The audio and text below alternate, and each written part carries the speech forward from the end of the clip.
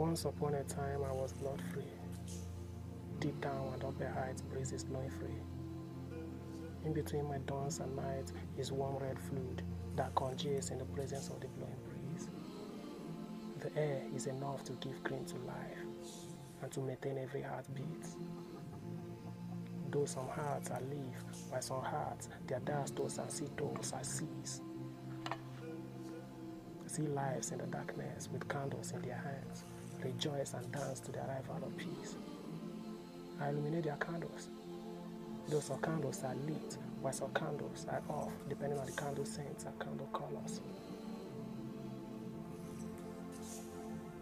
I'm a killer, but I'm not a murderer. I'm a farmer and more like a hunter. Thinning is my goal because I'll brute and hunt down every life, causing harm to other precious lives by piercing through their skulls with my sharp knives. Don't lives, but I take lives. The moon is far above me, high up in the sky. One blood is now in between the moon and I.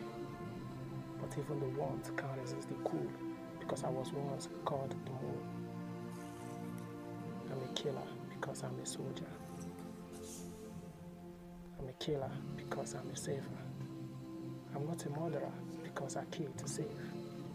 I'm a soldier of Nigerian army.